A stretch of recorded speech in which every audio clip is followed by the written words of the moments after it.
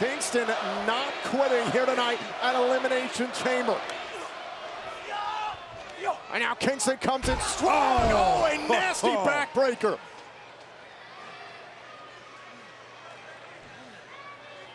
All these men, all, all these competitors just, just spent. Now it's AJ Styles trying to control Kingston. It's about the WWE Championship. It's about getting one step closer to WrestleMania.